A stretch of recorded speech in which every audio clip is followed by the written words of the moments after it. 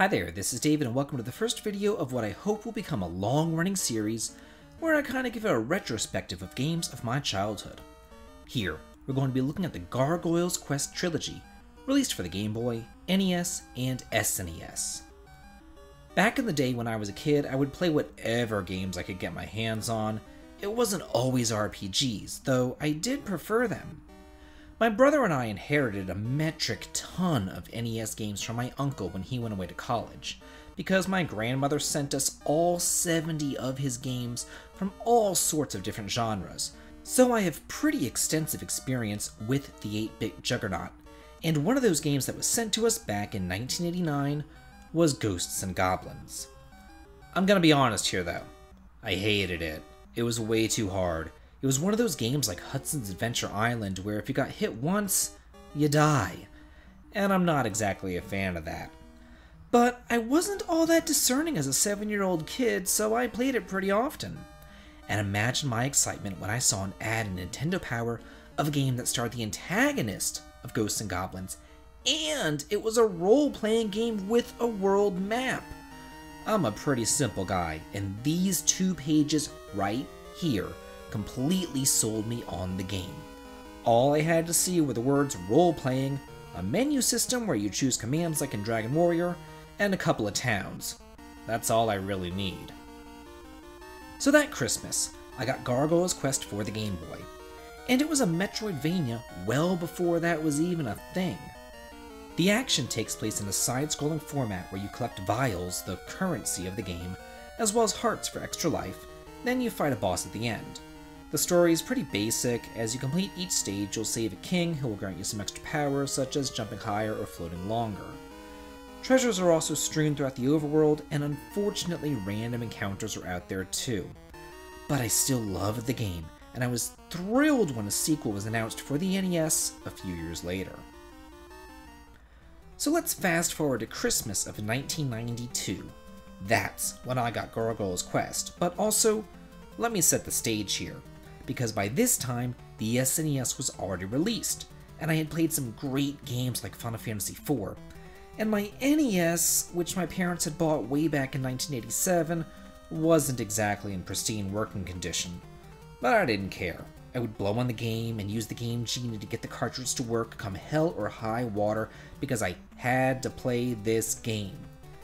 It was everything that the Game Boy game was and more, with many more towns, stages, power ups, and a huge world map full of secrets. Unfortunately, though, the insane difficulty rate is still there, but random encounters are a thing of the past. The levels are much larger with many more hidden items in convoluted passages, and even though this was one of the very last NES games I ever bought, I really did enjoy it.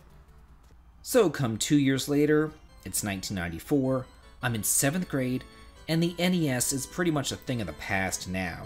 But then, I hear rumblings of another Gargoyles Quest game in Nintendo Power. This time, though, under a new moniker Demon's Crest. I knew that I had to have it, it just looked so frickin' cool. Upon playing it, I found tons of differences from the first two games, but all the changes were definitely for the better. The traditional world map was scrapped, and instead of wandering around, Firebrand now flies all over the place searching for his destination, and it's completely non-linear, though good luck going through the later stages before you're intended to. Vials are now much more useful as well, because before you could pretty much only buy extra lives, but now they can be used to purchase items for healing, reviving, shielding, and escaping, as well as damaging spells. The hovering meter is gone too. You can now fly over an entire stage if you want to, and because power-ups give you all sorts of new abilities, it is to your benefit to thoroughly explore stages and come back later on to break barriers, burst open doors, and swim into the depths. Castlevania fans would be right at home here. Also introduced is the Crest system, where Firebrand can morph into a different elemental themed gargoyle, such as Earth, Water, and Wind, which grant you different abilities as well, such as swimming, flying faster, or just dealing tons of damage.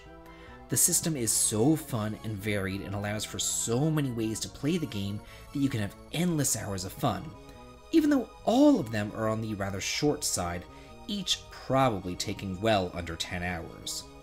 Also, Do note that just like Ghosts and Goblins, the Gargoyles quest games are pretty dang hard too. I mean, it's not die in one hit hard, but it's still hard nonetheless. I love these three games.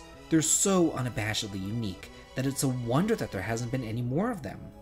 When the Wii came out and Nintendo was reviving old games left and right like A Boy and His Blob, Donkey Kong Country, and Blaster Master, I thought for sure that Gargoyle's Quest would get revived right alongside them too, but that wasn't the case. I guess these three gems are just meant to be left in the past, though they all do still hold up to this day. This has been David. If you like what I do here on this channel, please consider supporting me on Patreon. The link to it can be found in the video description. Also, please like, comment, and subscribe, and have a good day.